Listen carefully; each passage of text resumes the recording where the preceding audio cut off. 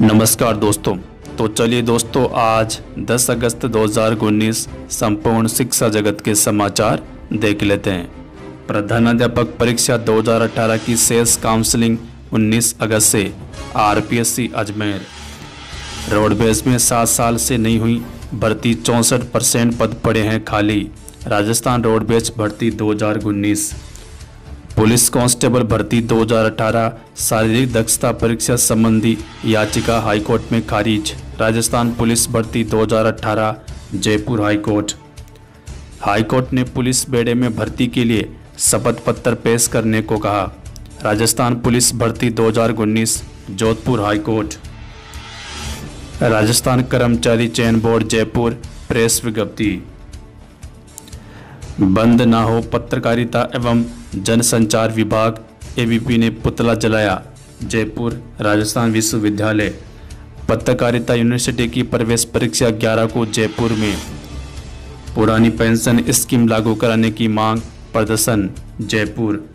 DElEd पाठ्यक्रम के लिए कॉलेज आवंटित किए, Jaipur. Education Bhaskar. Apex university बनी विद्यार्थियों की पहली पसंद। पहले चरण में प्राचार्य एच एम व्याख्याताओं के होंगे तबादले। बीकानेर। उदयपुर के 150 सहित प्रदेश के 20,000 निजी स्कूलों में खुलेंगे लीगल लिटरेसी क्लब। देंगे आईपीसी और कानून की जानकारी। उदयपुर। ऐसा मिलता है स्कूलों में पौसार खीर के नाम पर उबले चावल और गीली रोटी। बीकानेर। अब राज्य में शिक्षक सम्मान के लिए ऑनलाइन आवेदन, ब्लॉक जिला और राज्य स्तर के लिए होगा शिक्षकों का चयन, बीकानेर। सीबीएसई स्कूलों के नवी व ग्यारहवीं के विद्यार्थियों के रजिस्ट्रेशन की प्रक्रिया शुरू, अजमेर। शिक्षा विभाग अब रखेगा अखबारों में प्रकाशित खबरों पर नज़र, सभी जिलों में नियुक्त किए नोडल अधिकारी, अजमेर। स्कूली विद्यार्थी अब पढ़ेंगे साइबर सुरक्षा का पाठ। केंद्र सरकार के निर्देश पर शिक्षा विभाग ने शुरू की कवायद, अजमेर।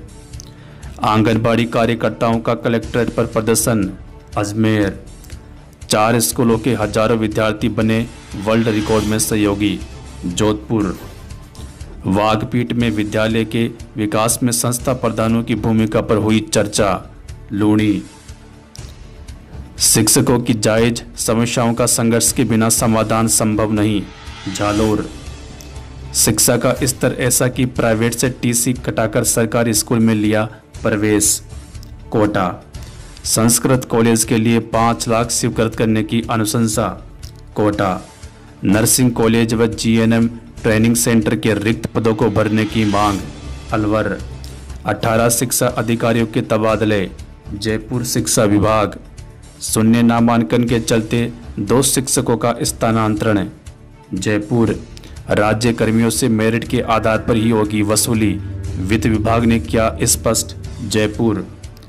एम्स एमबीबीएस काउंसलिंग के तीसरे राउंड के सीट आवंटन का परिणाम जारी, कोटा। जेडब्ल्यू मेंस देने वालों के पास एडमिशन का एक और मौका, कोटा। प्रदेश का एक भी शिक्षण संस्थान उत्कृष्ट की सूची में नहीं। जयपुर। अगले महीने से कम हो जाएगा भारी भरकम बस्ते का बोझ, जयपुर। नियमित कक्षाएँ नहीं लगने से चार साल में सबसे कम रहा बीएससी का परीक्षा परिणाम, भरतपुर ब्रज विश्वविद्यालय। तो दोस्तों, इतिहास के राजस्थान के संपूर्ण शिक्षा जगत के समाचार वीडियो देखने के लिए धन्यवाद।